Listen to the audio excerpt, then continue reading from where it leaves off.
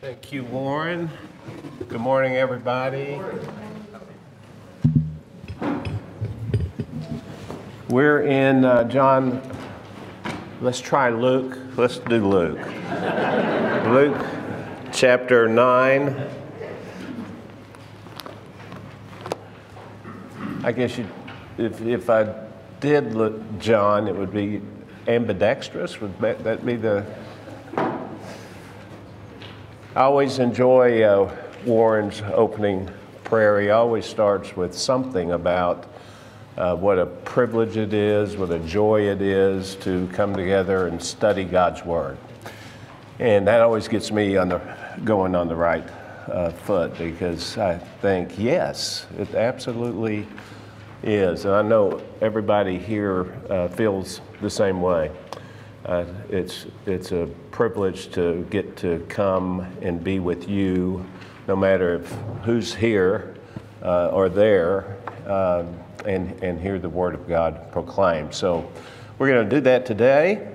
We've come to one of the key passages in the Gospel of Luke. I hope I don't say that every uh, lesson, but it is one of the key uh, passages. If you think back to the opening verses of chapter 1, uh, Luke explained his purpose to the most excellent Theophilus, you know, and uh, uh, it was that he might uh, compile an account of the things accomplished among us so that Theophilus might know the exact truth about the things he had been taught. Well, part of that truth was, and Warren made reference to this, part of that truth was the curiosity of Herod the Tetrarch concerning Jesus as he went about his Galilean uh, ministry, creating this sensation with his teaching, with his miraculous works. And Herod wondered, Who is this man about whom I hear such things?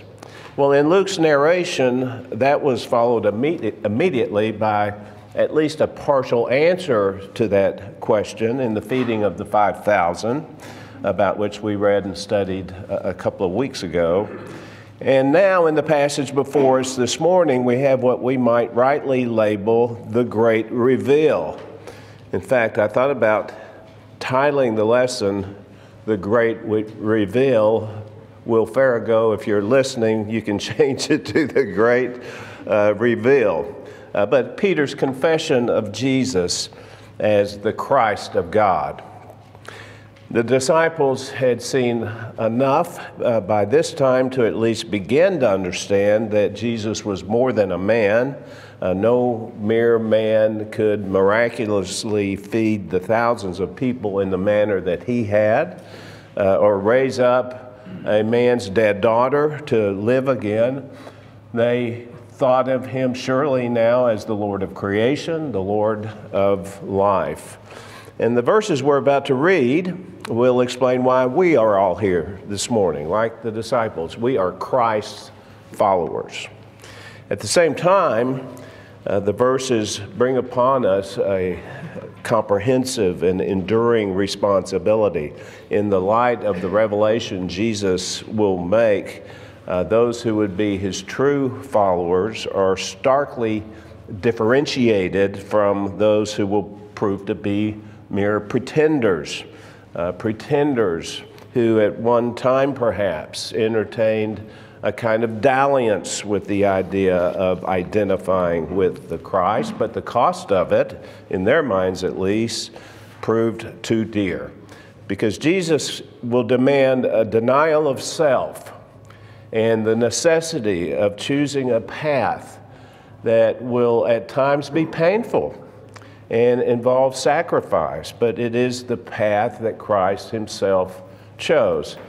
I've, I've, mentioned this little quip before, but I always remember this colorful description that a simple a country real estate developer from Georgia uh, gave to me concerning his own decision to follow after Christ. He said, I went down to the dock to get on a cruise ship only to discover it was a battleship. I think you can relate to that sometimes. Where we're going to read now, verses 18 through 27. There's a lot here, so let's get going. It happened that while he was praying alone, the disciples were with him, and he questioned them, saying, Who do the people say that I am? You'll note there literally the crowds. Who do the crowds say that I am? They answered and said, John the Baptist, and others say Elijah, but others that one of the prophets of old has risen again. And he said to them, But who do you say that I am? And Peter answered and said, The Christ of God. But he warned them and instructed them not to tell this to anyone, saying, The Son of Man must suffer many things and be rejected by the elders and chief priests and scribes and be killed and be raised up on the third day. And he was saying to them all, so you notice a little shift here. He's alone, then his disciples join him, and now all, the, the crowds, he's, he's called them together. We know that from the Gospel of Mark. So he was saying to them all, If anyone wishes to come after me, he must deny himself and take up his cross daily and follow me. For whoever wishes to save his life will lose it but whoever loses his life for my sake, he is the one who will save it. For what is a man profited if he gains the whole world and loses or forfeits himself? For whoever is ashamed of me and my words, the Son of Man will be ashamed of him when he comes in his glory and the glory of the Father and of the holy angels. But I say to you truthfully, there are some of those standing here who will not taste death until they see the kingdom of God. Well, Luke uh, gives us the beginning of this section, little indication uh, where this uh, pivotal discussion with his disciples took place, but Matthew and Mark do. It was in the vicinity of Caesarea Philippi a predominantly Gentile region far removed from, the, from Galilee with its uh, bustling uh, and crowded Jewish people, uh, further still from Judea and Jerusalem uh, with its temple and the by now contaminated cabal of Jewish leaders who were beginning to scheme to bring about his demise the shadow of their rejection had already begun to fall upon Jesus, and so he had led the 12 away from them to a place where seclusion could be had. It was, it was quite purposeful. And Luke has his own way of indicating that. Of all the gospel writers, uh, Luke is the one who makes special note of Jesus praying uh, and at times often associated with significant moments in his ministry. He was praying at his baptism when the heavenly voice uh, came out of heaven, uh, praying before he chose the 12 uh, disciples. Uh, immediately before his transfiguration uh, in verse 28 of, of this chapter, and of course, memorably at Gethsemane, he was praying. Here, uh, the moment was to be a faithful one, and he describes the Lord as praying alone beforehand, and then apparently calling his disciples along beside him, where he began to ask them some questions.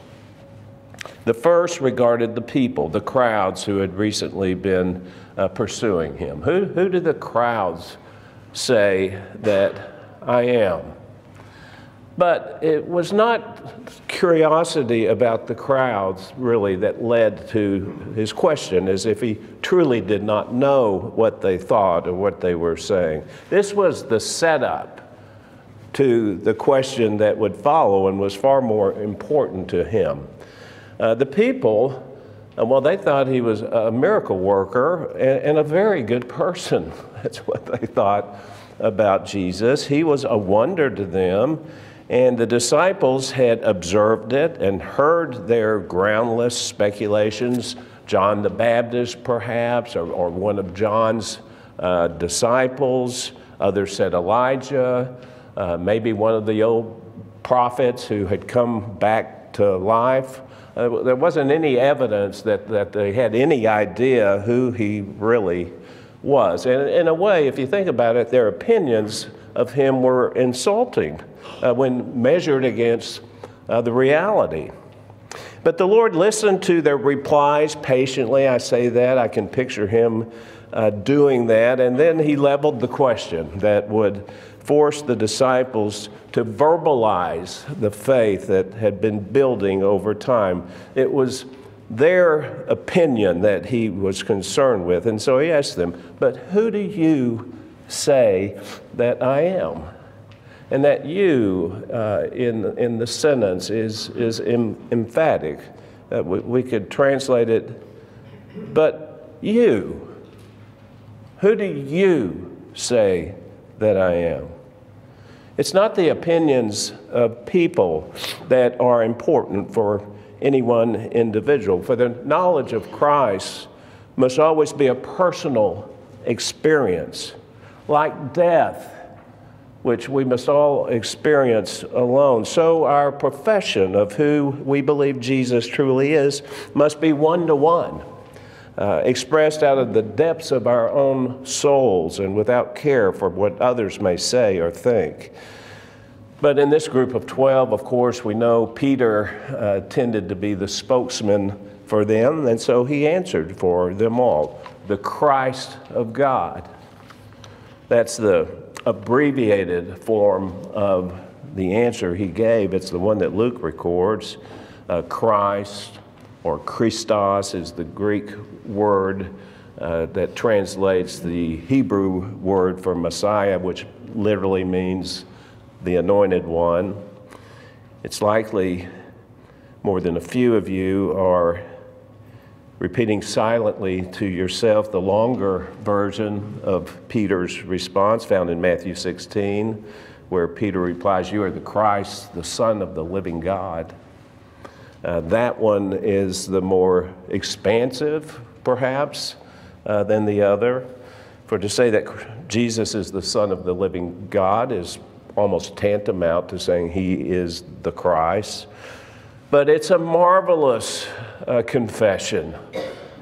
Let's take it for what it is a marvelous uh, confession. And the Lord indicated that in his response in Matthew by turning to Peter and say, saying, Blessed are you, Simon Barjona, because flesh and blood did not reveal this to you, but my Father who is in heaven. The Apostle Paul uh, would later write in Romans 10, verse 10, with the heart a person believes, resulting in righteousness, and with the mouth he confesses, resulting in salvation. But both the believing and the confessing are the result of the necessary supernatural revelation of God enabling it all. It's the work of God the Father's sovereignly dispensing the grace of belief via the enablement of His Spirit. Their faith, we know this, was as yet incomplete. That becomes apparent immediately, and it would not come into full bloom until after the resurrection, but it was a growing uh, faith. Uh, we've all experienced that in our own lives a growing faith. Thank you, Lord, for increasing our faith. But previously, uh, as you can read in the sixth chapter of John's Gospel, there, John, he records the feeding of the 5,000 as well, but then he uh, also includes this very difficult teaching in John chapter 6 that caused some of the people who had been following him to withdraw and not, not, not for me. But Peter, uh, Peter again had confessed there, You have words of eternal life. We have believed and have come to know that you are the Holy One of God. And so here now, his faith is enlarged such that it encompasses Jesus as the promised Messiah, though the scope of understanding of that was limited. It was a growing faith. Someone has said that uh, this was the first real confession of the church, And in being so, it establishes the content and framework of the essential confession every true believer must make. Who do you say Jesus is? What a person believes about Jesus of Nazareth is everything. It's the only thing in, in one sense, but it's, it's, it's everything. That's a profound thought in this world of 8 billion people 8 billion people. I looked it up, I didn't trust myself. Uh, we're up to almost 8 billion people. The eternal destiny of every single one will be determined by the answer they give to the question Jesus asked his disciples at Caesarea Philippi. None of us do enough to spread that word around to provide the answer that leads to salvation, but each of us can find our own unique a way of proclaiming it. It brings glory to God for us to do it, and it brings a glorious future to miserable sinners like we ourselves are. And I can tell you, I'm glad someone uh, told me about it. Well, the Lord had clearly encouraged Peter and the others' confession this day, and that's why Jesus' further response in verse 21 now may initially seem surprising. He warned them and instructed them not to tell anyone. Uh, the force of uh, the admonition was firm and an element of command underlying his charge. At, at this point, such knowledge in the possession of the multitudes, already impassioned by Jesus' presence could easily have incited in them a political uprising, reflecting the popular belief that Messiah's coming would bring about a deliverance from the yoke of Roman rule. But Jesus had a mission to accomplish, and, and timing was critical to it. His familiar and regular protest, My hour has not yet come, uh, underscored that as did his even more surprising statement that follows in verse 22. Peter's confession imposed on the Lord, so to speak, the need to elucidate in what way he intended to fu- fulfill the designation of the Christ of God. It was something of a bombshell statement in the ears of the disciples, but also, in a sense, his own answer to the question, Who do you say that I am? He said, the Son of Man must suffer many things and be rejected by the elders and chief priests and scribes and be killed and be raised up on the third day. In other words, this is who I am, the suffering servant uh, predicted from of old, the Christ in full garb. The first part of the unfolding of who he was is to be found in the title he chose for himself. He was the Son of Man. That was his favorite phrase of self description, borrowed from uh, Daniel's uh, prophecies of the triumphant Messiah that designated him as the Son of Man and expressing perhaps more adequately the mode of his triumph. It would be his through his becoming a man. He was the Son of Man. But if triumphant, then the language he used of him was startling, for it was not seemingly the language of the victor. Uh, rather, it pointed to the necessity of suffering and rejection and death. He must uh, suffer all these things. Uh, this is what being Messiah was to mean, these things. But where had that idea come from? Well, in Jesus' eyes, uh, plainly we know from the scriptures, which uh, foretold such suffering for anyone who had eyes to see. But the misinterpretations of the Jews over the centuries had continually misconstrued those scriptures so that they lost all their true meaning. And yet, ultimately, the concept originated out of the divine purpose Eh, eh, eh, that had decreed this to be the aim of Messiah's mission. Suffering was to be for Messiah no accident, but a compelling divine necessity. He, look, he employs four verbs in succession to express the way of the Son of Man that he must suffer, he must be rejected, he must be killed, and he must be raised. Four phrases, four descriptions of what must happen with Messiah. And the first is a broad description of what his experience was to be. He was to suffer uh, many things. One need only go to a single passage in the Old Testament to find uh, that, uh, that prophecy, though there are many, uh, but the suffering servant song of Isaiah 52 13 through 53 uh, 12. Uh, that, that, that song is immersed in the language of sacrifice and sorrow. Uh, despised and forsaken by men, a man of sorrows, acquainted with grief. He was crushed, he was pierced, he was scourged, he was like a lamb led uh, to slaughter. At the end of Luke's gospel, I'm going to refer to a, a scene that you all know very well, but there at the end, uh, Luke describes that, that poignant meeting between the risen uh, but unrecognizable Christ and two of his disciples on the road to Emmaus, Luke 24. They were uh, deeply discouraged over the report of Jesus' crucifixion, but Jesus challenged them, asking, Was it not necessary for the Christ to suffer these things and to enter into his glory? And then Luke states, He explained to them the things concerning himself in all the scriptures. So suffering was integral to his identity.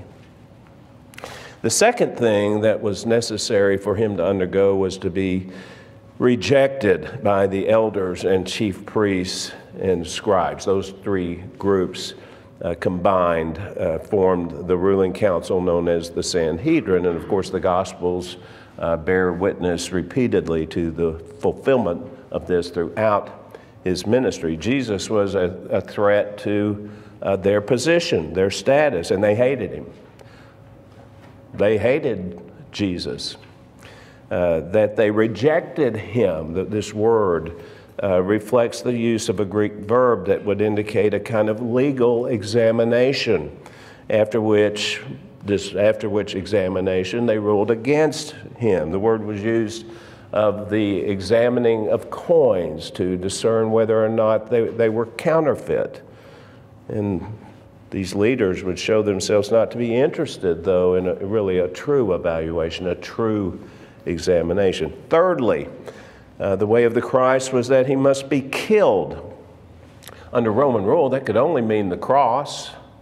You're going to be killed uh, it would be a cross. The disciples would have been stunned to hear that.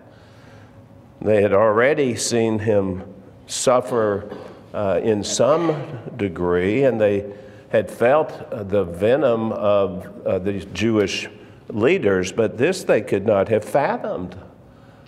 Maclaren said they had fancied a throne, the vision melted into a cross.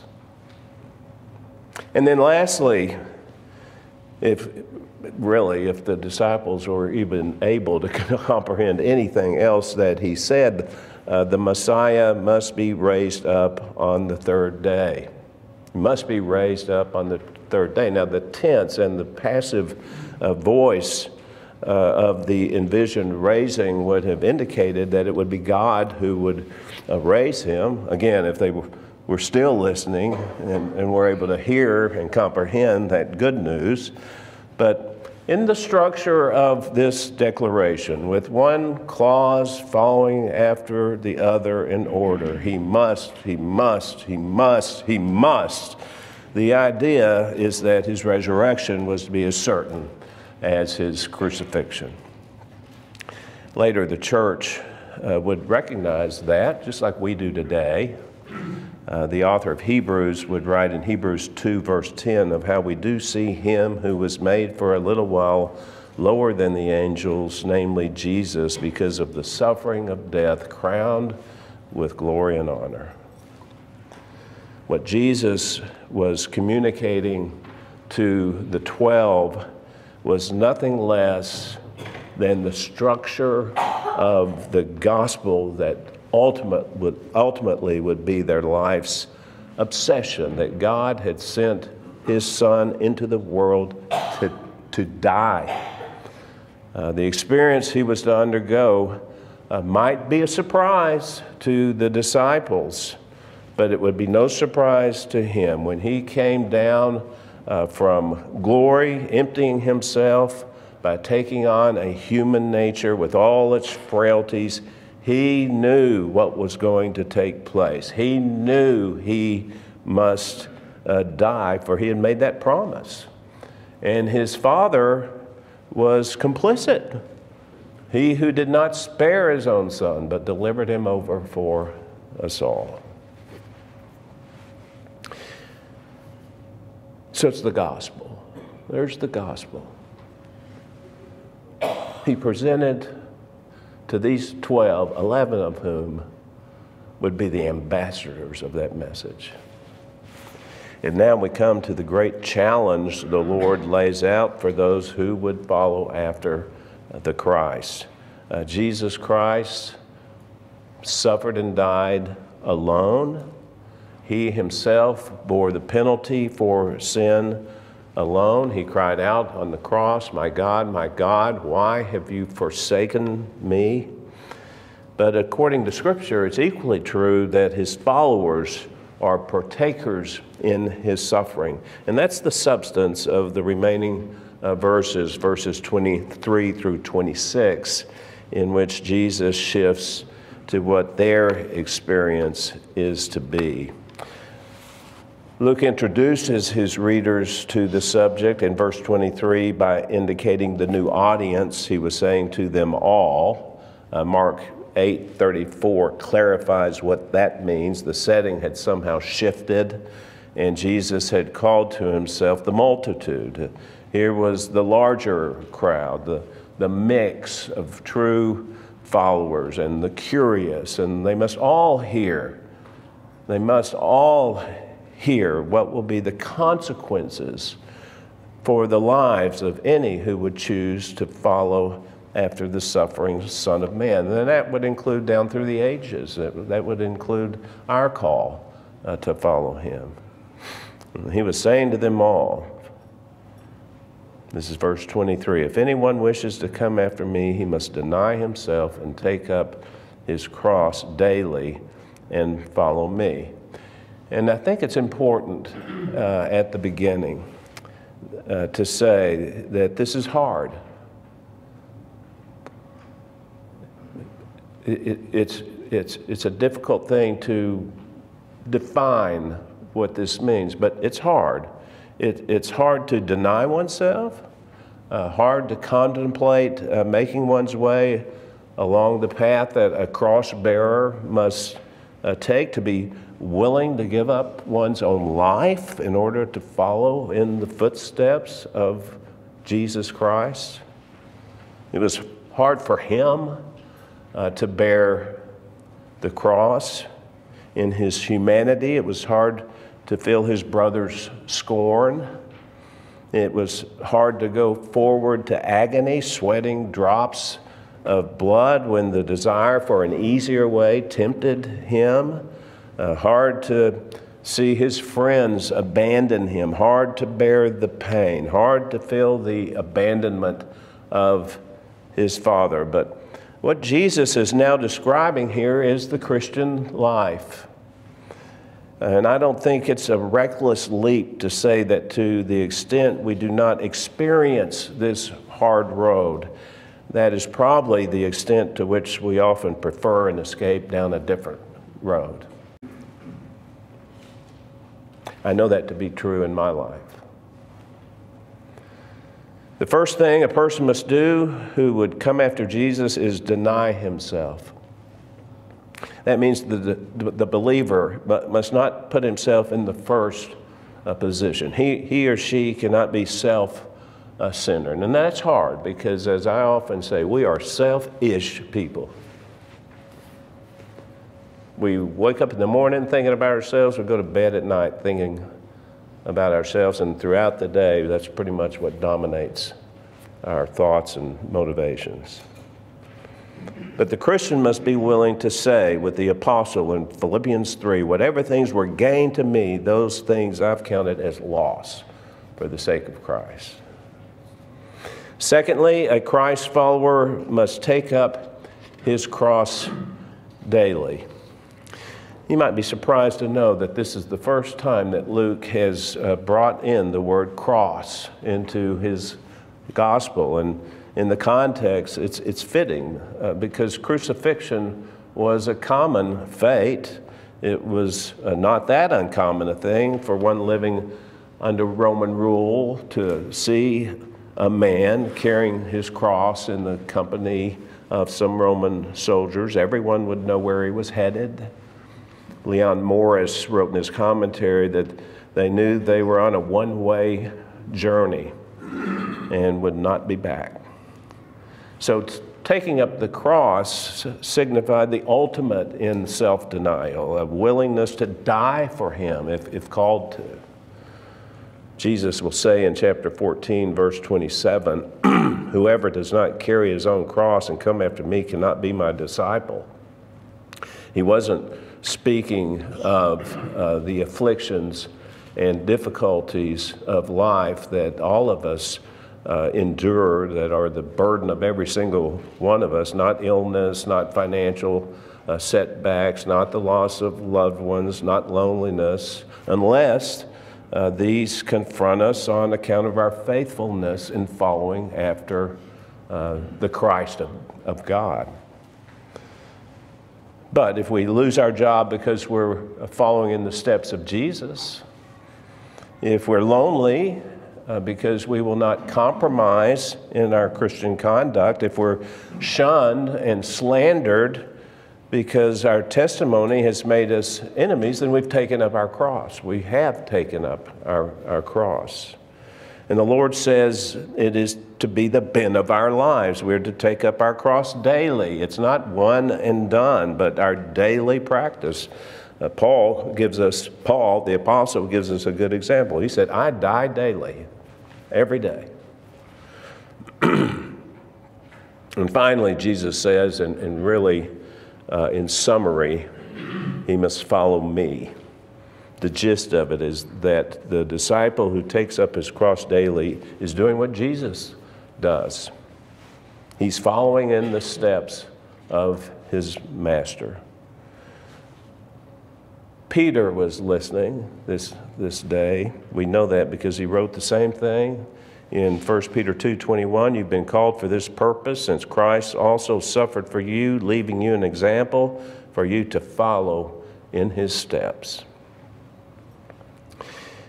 On the final three verses, verses 24 through 26, I know we actually read through verse 27, and I'll have a brief uh, word about that. But in, in these three verses, the Lord urges something like common sense.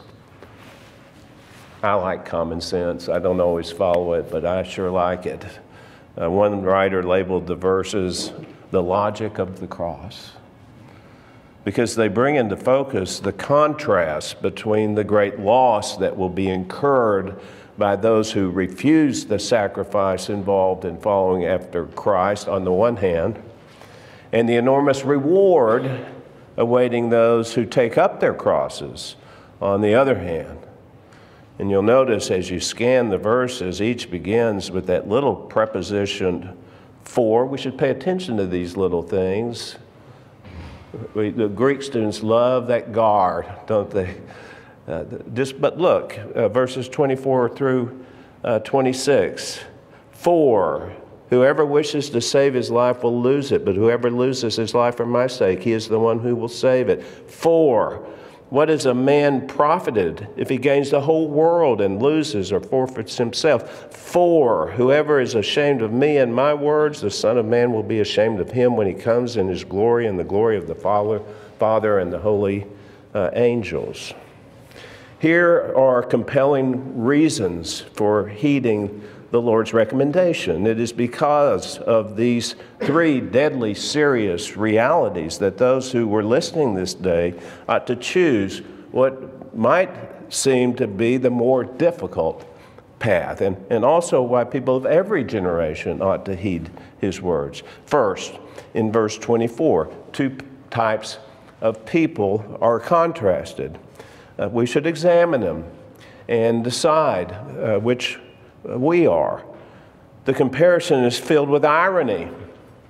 On one side is the person who loves this life so much, or at least he imagines uh, what he, it's what he imagines is everything that could be good in this life, that he is unwilling to make such sacrifice as Jesus suggests. But the truth, the sad truth, is that attitude is the path going the other direction. Because of his attitude, he's going to lose his life one day, not save it. It may seem far off in the future, it always does, right? may seem far off in the future and not even real, but it's all too true. One's reminded of the rich fool that Luke will uh, tell us about in, in his 12th chapter. He clings to his life as if it's the ultimate reality and the ultimate source of pleasure. He'll, he'll build bigger barns to, uh, to keep it all. Bigger barns.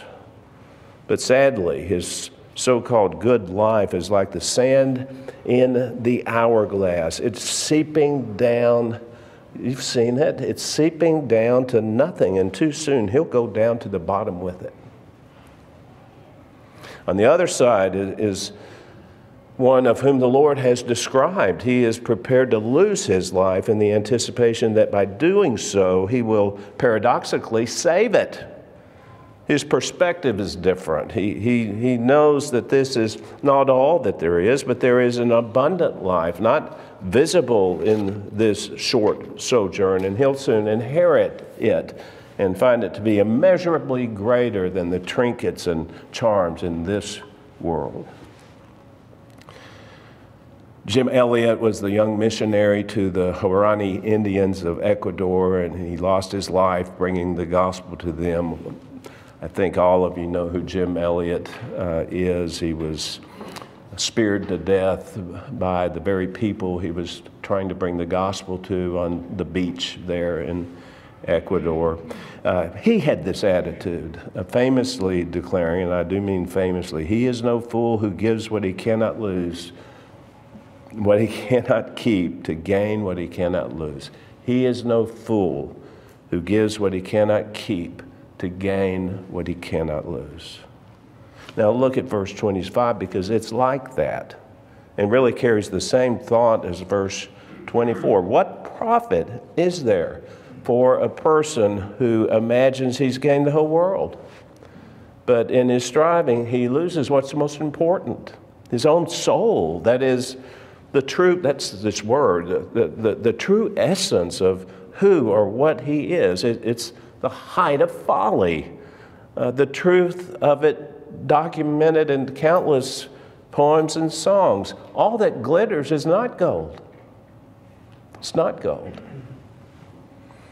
Finally, in verse 26, the futile recklessness of the life lived only for the here and now is presented in its most intense form as the Lord juxtaposes it against one's eternal destiny. Here's the final warning put in the most personal forms. For whoever is ashamed of me and my words, the Son of Man will be ashamed of him when he comes in his glory and the glory of the Father and of the holy angels. To be ashamed of Jesus now uh, will be to come to an inglorious uh, future in the end. It will be a terrible fate for a person to find the Son of Man clothed in glory, ashamed of him ashamed of, of her.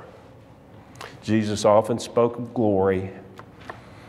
It's as if glory was always on his mind. That's because, of course, he knew glory as none of us do. And significantly, the closer he got to the cross, the more he spoke of it. Uh, beginning with that scene in John chapter 12 with the arrival of the Greeks. He, we go there, he suddenly changed course. All of a sudden, he said, Now the hour has come. Now the hour uh, has come for the Son of Man to be glorified.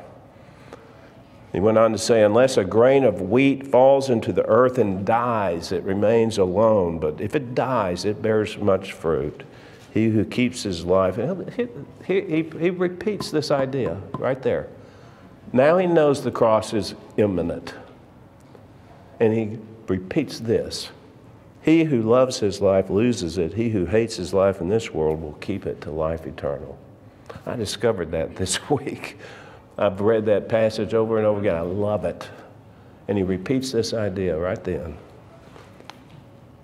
It's an echo of our passage. Well, in many ways, our entire passage is the anticipation of glory and Christ's exhortation in word and in revelation to follow him as he makes his way back to the glory that is his from eternity. And that's intimated in the enigmatic promise of verse uh, 27. So Jesus concludes this discourse by declaring that there are some, some of those standing here who will not taste death until they see the kingdom of God. There are different opinions on what he was referring to, but its placement immediately before the transfiguration suggests to me, anyway, powerfully, that Peter, James, and John were the ones uh, standing there who saw the kingdom, who saw Christ in his glory. And all three synoptic gospels have that order. Right after this is the transfiguration. Have you verbalized your faith? Have you declared your allegiance? Here is irony as we close. We often speak, people do, of the cost of following after Christ. He paid the price. You speak of cost, he paid the price. And the consequence of it is that those who follow him actually receive the payment. We, we receive the payment, and that's grace. Uh, that's the gospel of Christ. Let's close. Thank you, Lord, for what a wonderful Savior you are. Uh, what. Uh, what a privilege to follow after you. We, we all confess together, I think, uh, that uh, we were often not very good followers, not very good uh, deniers, um, don't like rejection, uh, don't show enough pride in our allegiance and, and relationship with you. And so we thank you that you're a forgiving God and you're also an empowering God, and we pray that you would ever more and more enable us uh, to follow more closely after your Son till we one day uh, find ourselves with him in his glory. It's in his name we pray. Amen.